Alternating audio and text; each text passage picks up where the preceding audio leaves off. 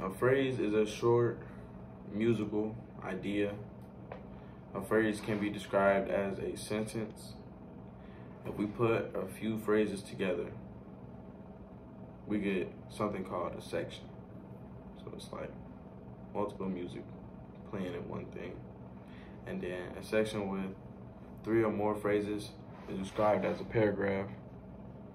So yeah. And but in the song there will be more than one section. Yeah, in the song you won't have just one section, you'll have multiple sections playing at the same time. Form and structures are used to describe the order of the section played.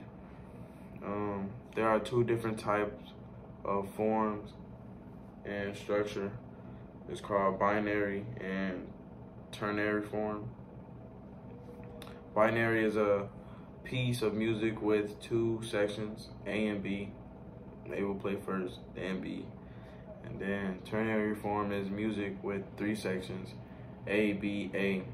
So it's like the turn back around the A, turn, ternary, turn, yeah, you get it. And then in both forms, you can repeat sections.